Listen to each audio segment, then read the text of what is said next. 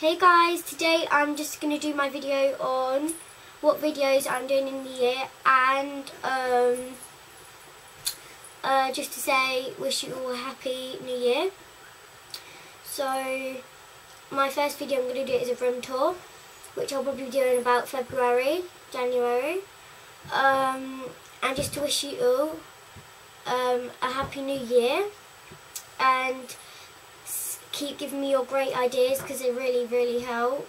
Um, and just to um, say thanks to the people that commented, rated and subscribed.